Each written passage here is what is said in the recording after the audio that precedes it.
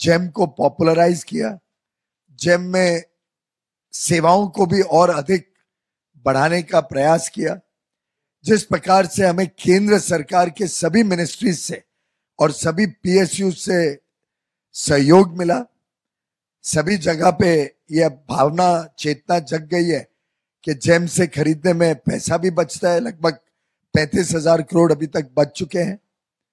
ऐसा अनुमान है जो तीन लाख, साढ़े तीन लाख करोड़ का, साढ़े तीन लाख करोड़ के आसपास जो अभी तक व्यापार हुआ है, जेम में गवर्नमेंट प्रोक्योरमेंट हुआ है, उसमें पैंतीस हज़ार करोड़ टैक्स पेयर्स का पैसा बचा है।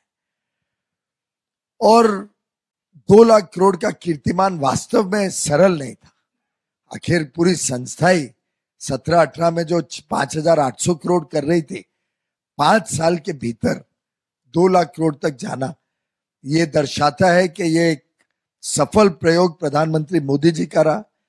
पारदर्शिता भी है, इसमें सरलता भी है, इसमें बड़े पैमाने पे लोगों को जानकारियाँ मिल जाती हैं इंफॉर्मेशन मिल जाती है कि क्या क्या ऑप्शंस हैं। बेचने वाली संस्थाएँ देश भर में कोने कोने से बेचती हैं। पीछे माननीय प्रधानमंत्री जी ने बताया था कि एक बार प्रधानमंत्री के कार्यालय को कुछ दो थर्मस खरीदनी थी। उन्होंने जेम में डाल दिया।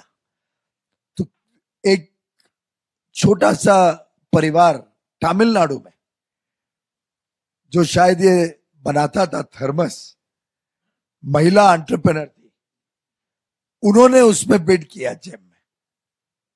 और उनको वो ऑर्डर मिला, प्रधानमंत्री कार्यालय का ऑर्डर चेन्नई की महिला उद्योजक को। सीधा पहुँचा।